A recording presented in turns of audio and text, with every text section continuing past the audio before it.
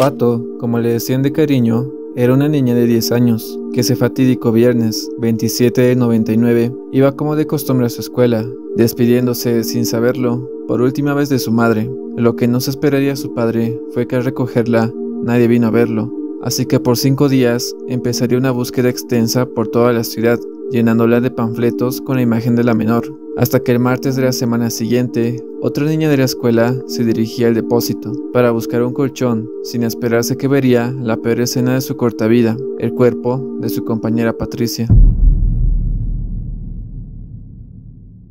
Y después de las múltiples protestas y la indignación de la población, se daría con un culpable, el portero de la escuela, Odón Mendoza. Esto obviamente causó aún más indignación, el hecho de saber que todo pasó en la misma escuela por uno de los funcionarios generó muchas preguntas en contra de la directora y el personal administrativo. Fue así que recolectadas las pruebas, Odón era el principal sospechoso, hasta que aparecieron otros dos, de los que resalta José Luis Flores por sus antecedentes y por haber estado cerca de la zona. Todo esto complicó el caso y lo alejó del verdadero autor, Odón Mendoza. Lastimosamente, como siempre, el caso tardó 15 años en dar con una sentencia, esta vez contra Odón, por pruebas circunstanciales como las pruebas de ADN y del semen del acusado, además de que se detectó la misma enfermedad venérea de Odón en el cuerpo de la víctima. Al final el acusado recibió 30 años de cárcel, mientras el legado de Patricia dejó el decreto 1302 sobre la erradicación de la violencia en las escuelas y la ley 348 para garantizar a las mujeres una vida libre de violencia.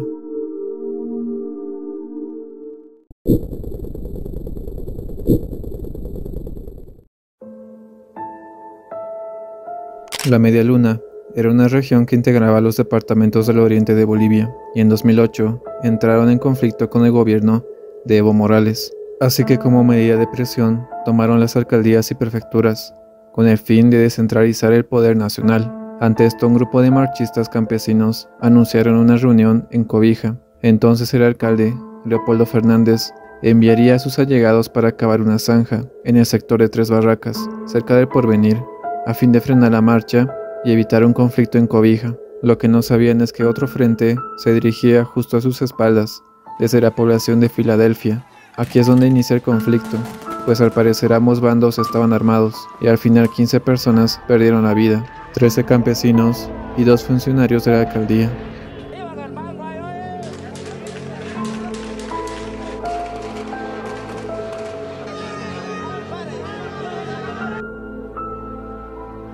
Después de este suceso, el gobierno ordenó el estado de sitio en Pando, por lo que se militarizó la ciudad.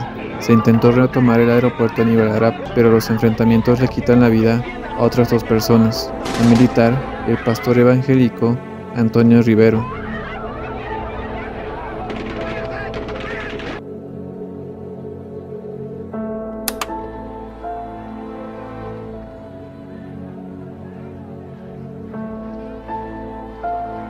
Al día siguiente los militares siembran el terror en Cobija, metiéndose a casas y tomando presos, hasta que dan con Leopoldo, que es trasladado a La Paz.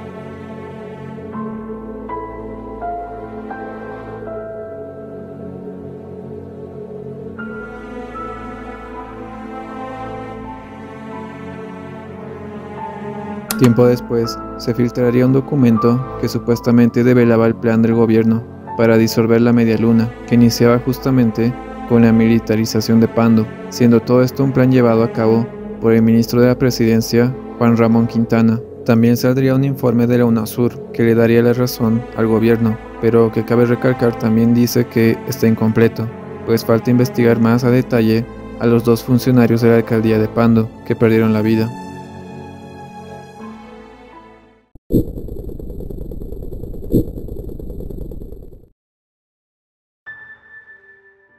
En el barrio Villarrosario, entre el tercer y cuarto anillo de la avenida Piraí, el 12 de julio a las 8 de la noche, Pablo Escudero Rojas, de 35 años, sostuvo una discusión con su madre por una deuda.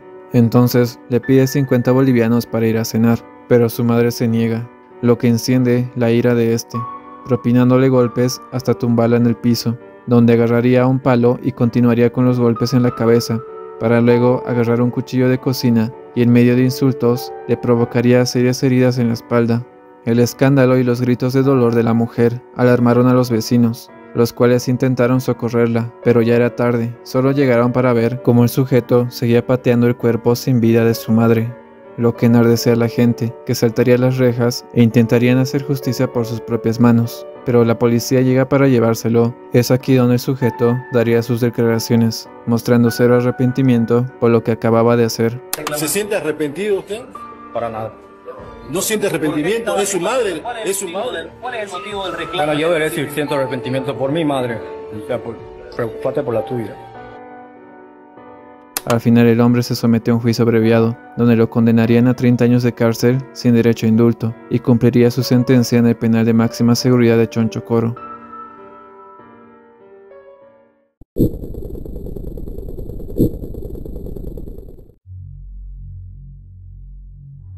En 1958, la Falange Socialista era el partido opositor que se afianzó en el oriente del país, Santa Cruz, Valle Grande y Camiri, y junto con los recién fundados Comité Cívico Pro Santa Cruz y la Unión Juvenil Cruceñista, estaban exigiendo que se cumpla la denominada Ley Bush, justamente dictada por este presidente, hace ya 20 años, pero a la cual nunca se le dio cumplimiento. Esta era la ley sobre regalías petroleras, que destinaba el 11% de las regalías a los departamentos productores de petróleo, para el crecimiento de este mismo. Es así que el gobierno de Hernán Siles Suazo señalaría a Santa Cruz como un foco rebelde y mandaría aproximadamente 10.000 campesinos armados, militantes del MNR, provenientes de Ucureña, en Cochabamba. Estos invadirían Santa Cruz. Ante esto, partidarios de la Falange huirían a distintos poblados. Este hecho se daría justo en uno de estos, Terevinto, donde un grupo de 20 jóvenes se dividirían en dos para no llamar la atención el grupo más numeroso se refugiaría en el potrero del Naranjal, una hacienda de un amigo de la familia, de uno de los falangistas. Lamentablemente estos ya habían sido delatados, así que un grupo de 50 milicianos se dirigía a la propiedad en busca de los jóvenes. Y lo que le harían a los jóvenes y a los residentes de la hacienda solo es comparable a los videos de ejecuciones narcos que se ven en México. Con total saña acabaron con los jóvenes uno por uno, e incendiaron la hacienda llevándose tres rehenes como botín de guerra, de los cuales dos escaparían, y como represalia, los milicianos le quitarían la vida al último.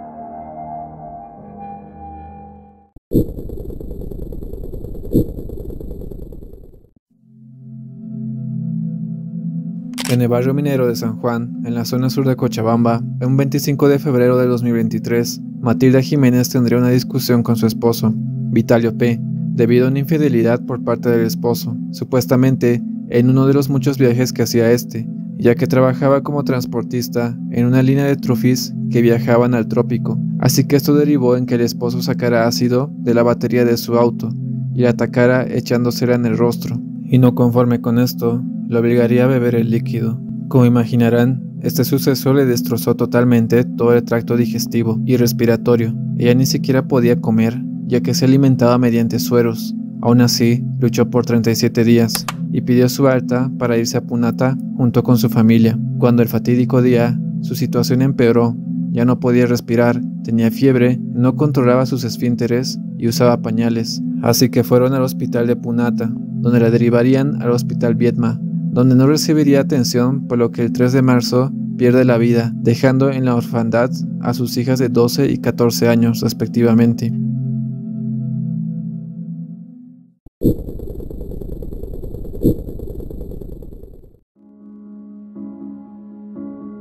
En plena época de verdadera dictadura, el Plan Cóndor y el Che Guevara, el presidente en turno, el Tata Barrientos, siempre bien recordado y hasta llorado el día de su muerte, cometería un crimen que marcaría la historia de Bolivia. A finales de 1966, el Che ya estaba en Bolivia.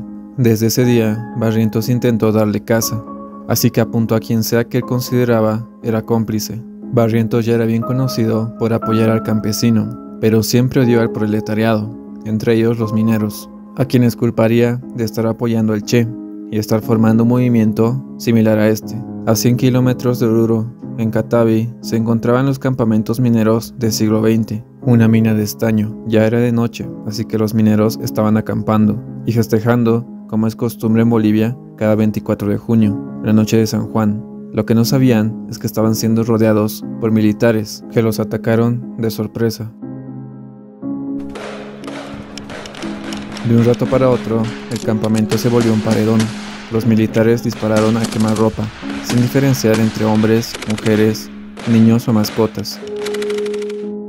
Se metían a las casas, a los campamentos, tomaron la plaza principal y hasta la emisora de radio, La Voz del Minero, donde detuvieron a más de 200 personas, que nunca más se volvieron a ver.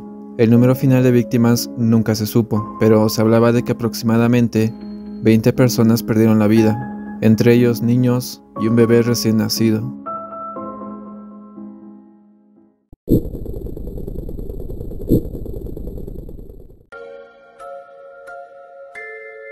José Andrés Cerrudo era un niño de 9 años que vivía en Santa Fe, un pueblo del municipio de San Carlos, en el norte de Santa Cruz, que el 16 de junio a las 7.30 de la mañana fue interceptado por Rudy Yáñez, un agricultor de 33 años, que lo invitaría a subirse a su moto, pero ante la negativa del infante, este le ofrece 20 bolivianos para ayudarlo con unos trabajos.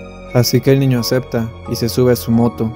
Él lo llevaría a un lugar alejado en el monte, donde aburriría de él, pero lo dejaría vivo. Ahí es cuando el sujeto ve a dos personas pasando cerca y se tumba en el pasto junto con el niño y le pregunta, si vos me vuelves a ver, ¿me puedes reconocer?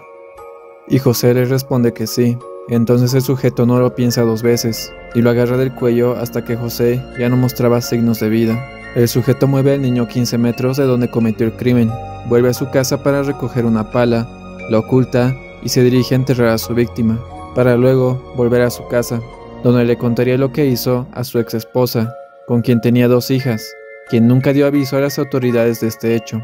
Desde ese día empezaría una búsqueda del niño, hasta que pasaron seis días, cuando la policía, a través de un video de una cámara de seguridad, vería al niño a bordo de la motocicleta de Rudy. Es así que se ubica la motocicleta en el domicilio de los padres del acusado, donde también descubrirían que estaba manteniendo contacto vía celular con su ex esposa. Es por este medio que lo pueden localizar y en horas de la noche se da con su aprehensión y con la de su pareja por complicidad. Pero este crimen nunca debió suceder, y es que el archivo judicial de Rudy Villavicencio es confuso, una maraña de papeles, a su nombre una decena de documentos, entre los que se encuentran edictos, mandamientos de libertad, órdenes de aprehensión, detención preventiva y declaraciones de rebeldía. Las fuentes son también variadas, como si cada juzgado, parte del mismo sistema, trabajara de manera independiente. Este sujeto ya tenía dos antecedentes de la misma índole. En 2018 había intentado abusar de una menor, quien valientemente escapó de Rudy después de darle una patada baja. Sería procesado por este delito, pero el 24 de julio del 2018, la jueza María Luisa Saavedra lo dejaría en libertad con medidas sustitutivas, luego de que pagara una fianza de 5.000 bolivianos.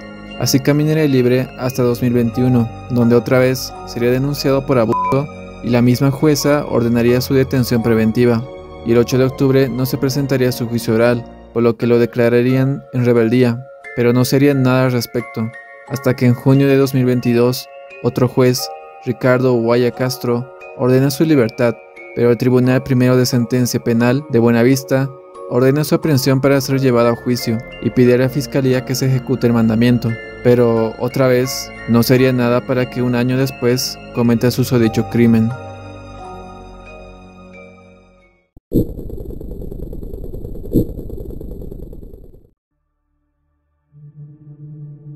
En el ocaso de la presidencia de Gonzalo Sánchez de Lozada se daba una de las peores represiones de la historia de Bolivia.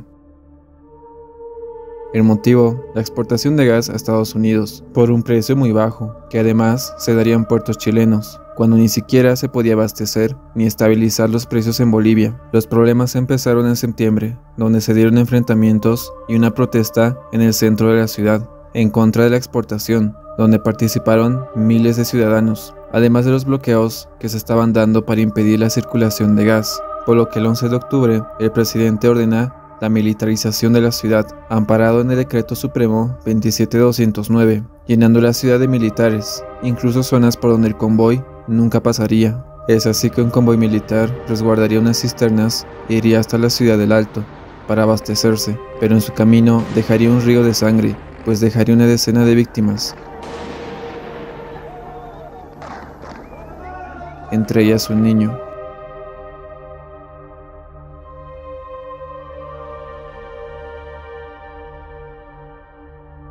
Al día siguiente la situación no cambiaría, pues la cisterna nunca llegó, lo que enojó aún más a la población de La Paz, dándose una serie de protestas en la urbe, que resultó en fuertes represiones por parte de la policía, que usó armas de fuego, dejando aún más víctimas a su paso.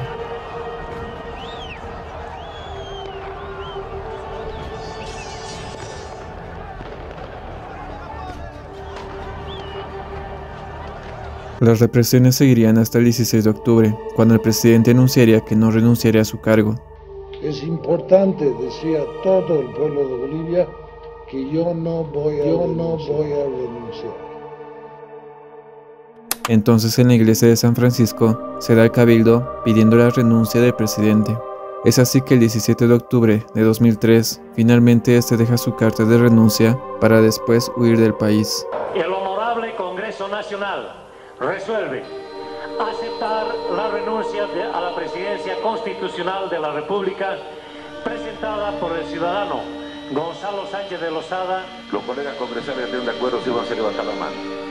Informe, senador secretario. Existe mayoría, presidente. Aprobada la resolución.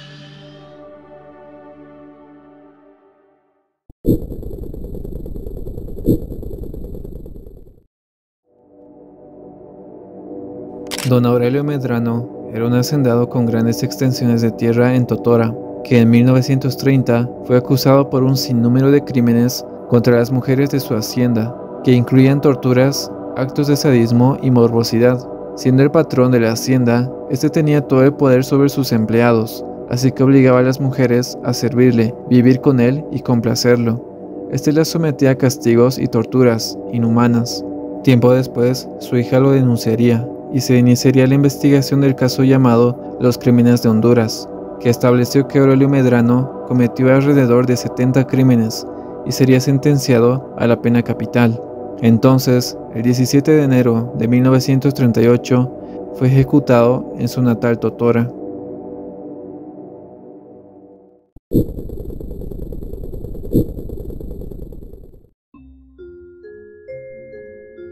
Elizabeth Calle Mamani, de 25 años, era una mujer que vivía en el municipio yungueño de Coripata, en La Paz, acostumbrada a vivir con deudas de donde podía mantener el estilo de vida que tenía, ya que no trabajaba y sostenía problemas económicos con su familia. Fue así que el 10 de abril se le ocurre secuestrar a su sobrina Yuraima, de 7 años. La sustrae de su domicilio aproximadamente a las 3 de la tarde, prometiéndole que le mostraría videos en su celular la lleva a su propio domicilio y luego de dos horas le mandaría un mensaje pidiéndole 70 mil bolivianos por el rescate al celular de la madre, que en ese momento lo estaba agarrando el padre de la niña, que asustado denunciaría el hecho. Pasaron cuatro horas, por lo que la niña ya se quería ir y llamaba a su mamá al ver un auto blanco que rondaba la zona. Esto puso nerviosa a la mujer y al no recibir respuesta alguna, aproximadamente a las 7 de la noche, comete el crimen contra la menor con un cinturón y luego arrojaría el cuerpo a una zona de matorrales, cerca del hotel Oquisamaña.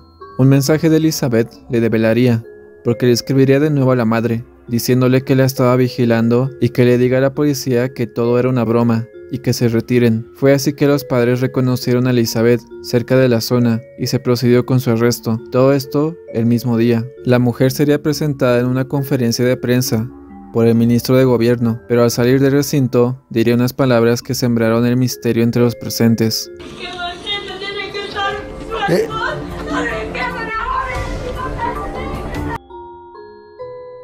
Pero ¿a qué se estaba refiriendo? Y es que indagando en el pasado de Elizabeth, se daría con el fallecimiento de su hermano, el 15 de junio de 2022, debido a un incendio en la casa donde vivían los tres hermanos. Supuestamente Elizabeth acusó a la familia de Yuraima porque conocían a quien cometió el crimen, pues ella decía que no fue un incendio accidental, ya que su hermana tenía una relación con este hombre, llamado William Fiesta. Entonces el hermano lo investigaría y se enteraría que tenía vínculos con el narcotráfico, y ante esto el hombre tomaría represalias e incendiaría la casa. La mujer también acusó a la familia de tener los mismos vínculos, y que por eso pidió esa suma de dinero, lo cual es mentira, pues las deudas que tenía la mujer ascendían a los 120 mil bolivianos. La mujer se sometió a un juicio abreviado y la sentenciaron a 30 años a cumplir en la cárcel de mujeres en Miraflores.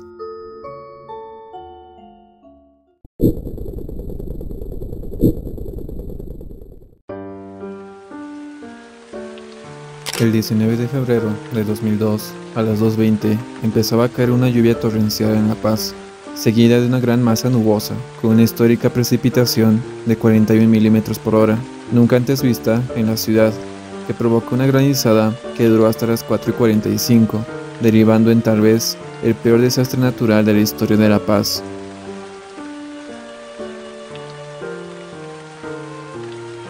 En poco tiempo las calles se volvieron ríos, y es que la estructura de la hollada, que parece ser una pendiente que no tiene fin, ayudó a que el desastre se volviera aún peor. Al parecer, en una de las zonas más altas de La Paz, el cementerio, la basura acumulada fue arrastrada y junto con el granizo taparon los drenajes, lo que hizo que el agua bajara desde aquí, destrozando el mercado Justus, la avenida Tumusla y bajando hasta la iglesia de San Francisco.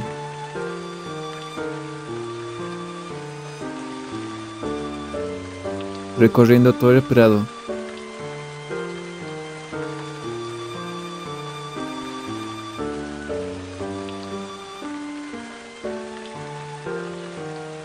Llegando hasta la zona sur, a través del río Choquillapu, que ya estaba totalmente desbordado, llevándose personas hasta la calle 3 de Obrajes,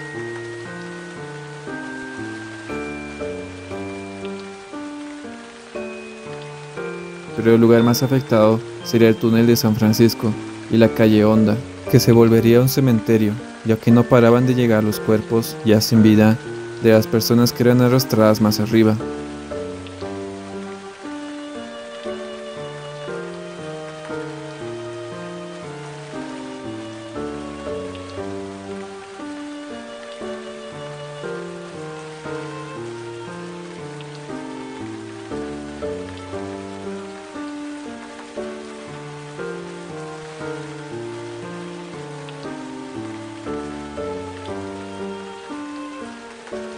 Es que la fuerza de la riada era tal que hasta se llevaba vehículos y una persona que fuera atrapada sería llevada por kilómetros, golpeándose con vehículos, postes en infinidad de objetos que la riada se llevó. Es por eso que varias personas tratarían de rescatar a los que estaban atrapados.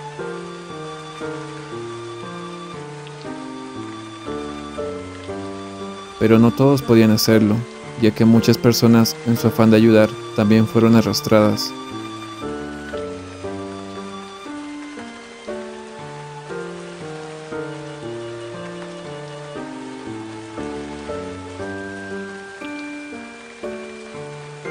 Muchos padres, madres e hijos ese día nunca más llegarían a su casa.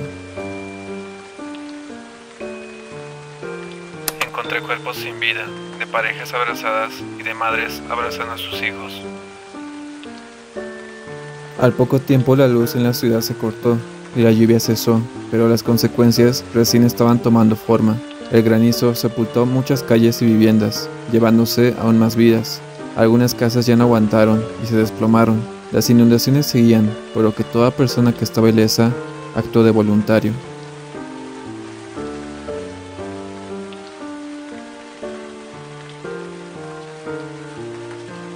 Al final, el diluvio dejó 10 millones de dólares en daños, dejó más de 200 heridos, 77 personas perdieron la vida y 50 más nunca se encontraron.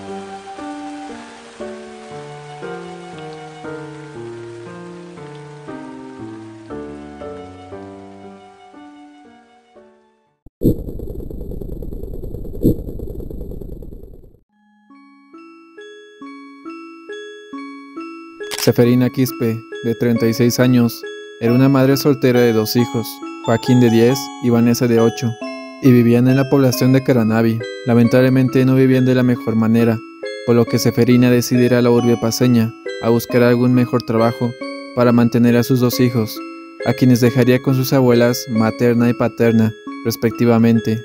Así estaría un tiempo, trabajando, viviendo sola y mandando dinero a sus hijos.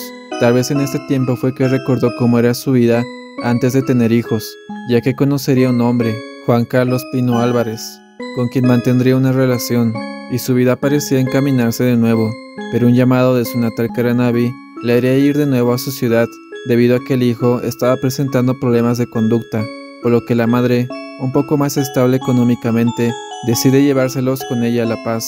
En ese tiempo la relación con su novio cambia drásticamente, porque en reiteradas oportunidades Juan Carlos le decía que no podían casarse y consumar su relación debido a sus hijos, así que una macabra idea rondaría la cabeza de Seferina desde ese día. Ella pensó en deshacerse de sus hijos, ya que los veía como un obstáculo para consumar su relación, pero no dejaban de ser simplemente ideas. Esto fue hasta el sábado 7 de septiembre de 2002, cuando después de volver del trabajo, la dueña del lugar donde vivía se quejaría por varios destrozos que los niños habían hecho en la propiedad y a las personas que vivían en esta. Esto hizo que la madre, enojada, les propinara una golpiza, pero después, más calmada, les diría que se irían de visita a Caranavi, y los niños felices por esto se listarían y partirían rumbo a la ciudad. Aproximadamente a las 8 de la noche, en medio camino, la madre le pide al chofer que pare para poder bajar junto con sus hijos a la altura del sector de cajones. Los llevaría hasta inmediaciones del río y se pondrían a comer un plato paseño. Ya era tarde, por lo que el hijo se duerme en los brazos de su madre. Entonces esta saca un cuchillo y rápidamente le realiza un corte en el cuello, y ante la agonía del hijo empieza a realizarle varios cortes a la altura del tórax. Todo esto a la vista de su hija, que aterrorizada al ver cómo la madre volteaba a verla, suplicó por su vida, pero la madre ni se inmutó y le realizó el mismo corte. Al ver que la niña seguía viva, agarró una piedra y acabó con su vida. Después arrojaría los cuerpos al río y limpiaría la zona. El macabro hecho sería descubierto al día siguiente por un chofer que pasaba por la zona. Se identificó a los niños y se difundieron sus imágenes, así que no se tardó en dar con la autora del crimen, que sería detenida en.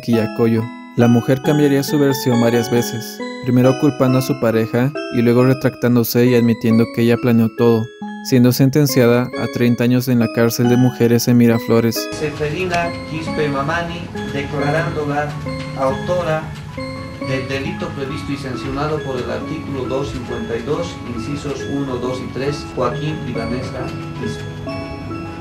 Y la condeno a sufrir a la pena de presidio de 30 años de reclusión en el penal de Miraflores de la ciudad de La Paz sin derecho a indulto. Lamentablemente esto no terminaría aquí, ya que sería liberada por el juez José Ayavir Siles, quien formaba parte de la red criminal que liberaba criminales a cambio de dinero, y luego del escándalo sería recapturada y presentada en una conferencia de prensa,